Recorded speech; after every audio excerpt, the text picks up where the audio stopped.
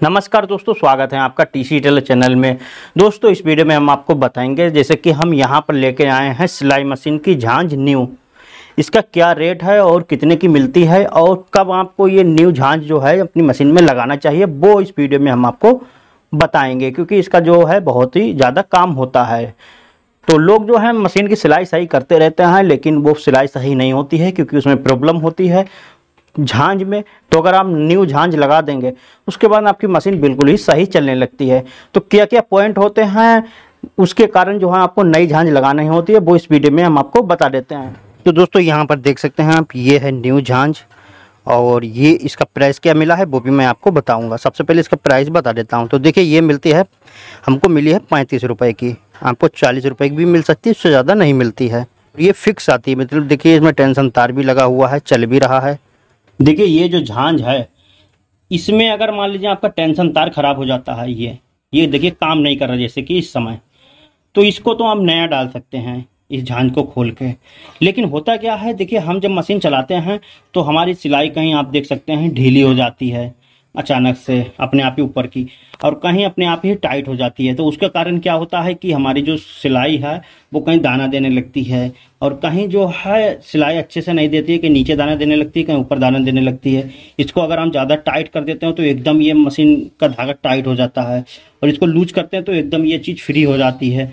तो ऐसे कारण में क्या होता है कि ये झांझ खराब हो जाती है। खराब क्या होता है? इसके अंदर की जो प्लेटें होती हैं, वो घिस जाती हैं। मैं आपको दिखाता हूँ ये प्लेटें।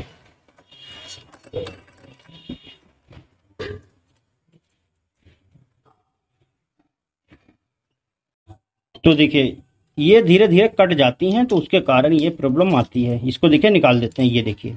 देखिए, ये जो प्लेटें हैं, इनमें देखिए कितनी ज़्यादा जंक आ गई है। और ये मतलब यहाँ पर पतली हो जाती हैं, धागे चलते चलते और यहाँ पर मोटी रहती हैं। तो इसके कारण क्या होता है कि जब हमारा धागा चलता है तो कहीं लूज हो जाता है, कहीं टाइट हो जाता है। तो इस कारण से, यानी कि ये जो प्लेटें हैं वो खराब हो जाती हैं इनकी तो इसके कारण ये प्रॉब्लम आती है। अब आप नई प्लेटें लेने जाएँगे, ढूँढने तो वो आपको नहीं मिलेंगी, बहुत ज़्यादा दिक्कत होगी ये प्लेटें मिलने में। तो ऐसे में सिंपल सा ये रीजन होता है कि आपको सीधे की सीधे झांझ ही नहीं लगा देना, टेंशन खत्म। ये बहुत ही बढ़िया चलती है, नई झांझ जब आप लगाएँगे, ऊपर की सिलाई बिल्कुल ही, आप ढीली, अगर हल्की सी टाइट करेंगे तो हल्की सी एकदम मतलब थोड़ी सी टाइट होगी, जितनी आप करेंगे उसी हिसाब से आप चलेगी, बिल्कुल ही अच्छे से। तो अगर आपकी मशीन में ये प्रॉब्लम है तो आप नई झांझ इसको लगा सकते हैं। जैसे कि हमने बताया, ये पैंतीस रुपए की मिली हमको तो आपको चालीस रुपए की भी मिल सकती है पैंतीस की भी मिल सकती है। ठीक है दूसरा पॉइंट ये होता है, ये स्प्रिंग देखिए, बहुत ज़्यादा दब गया है। अब आप कितना भी टाइट करें तो ये धागा ऊपर का टाइट नहीं होता है तो ये भी एक प्रॉब्लम आती है। मतलब अगर आपकी ऊपर ये झांझ ठीक से काम नहीं करती तो आप इसको बदल सकते हैं। बदलने का तरीका मैं आपको बताता हूँ, सिंपल सा, बहुत ही आसान होता है। इसको पूरा निकालना होता है और इसको पूरा ही फिट कर देना होता है। तो अब हम इसको लगाते हैं। इसको लगाने का सिंपल सा तरीका होता है, इसको आपको मत्थे को खोलना है।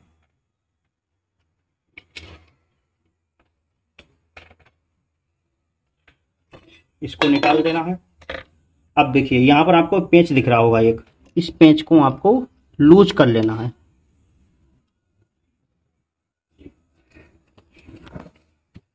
ठीक है ना?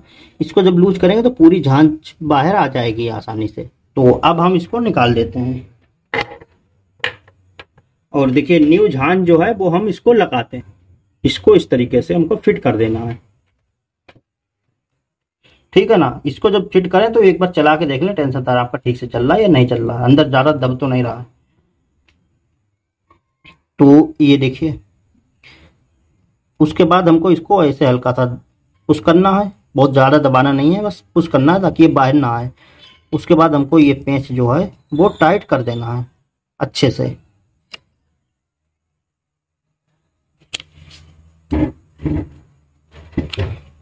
और ये हमारी झांझ जो है, वो लग के रेडी हो गई। अगर आपको इसका धागा ढीला टाइट मतलब टेंशनदार ढीला टाइट करना हो तो आप यहाँ से इसको कर सकते हैं, देखिए। देखिए, इसमें पेंच कर लगाना है और हल्का सा घुमाना है। ये टाइट हो जाएगा। अगर ये घूमे नहीं तो आप यहाँ से हल्का सा पेंच को लूज कर सकते हैं।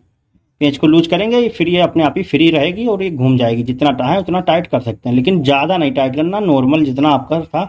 फ़िलहाल तो जो जो आप झांझ लाएँगे, न्यू, उसमें वो फिक्स रहता है, उतना ही। उतना ही आपको रख देना है।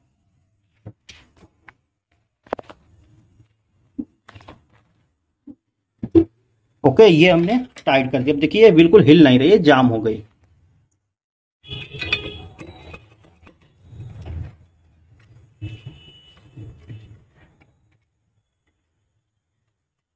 एक बार मैं आपको सिलाई लगा के दिखा देता हूँ, देखिए टेंशन तार चल रहा है या नहीं चल रहा है।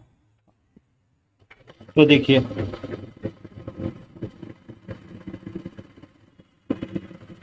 ये देखिए, टेंशन तार आसानी से चल रहा है सिलाई भी हमारी बहुत ही बढ़िया दे रही है मशीन। इसको आप जितना टाइट करेंगे, उसी हिसाब से ये।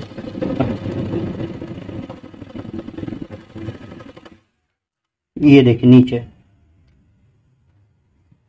अगर आपको दाना लगे नीचे या कुछ भी लगे, फ़िलहाल तो बिल्कुल ही बढ़िया होती है।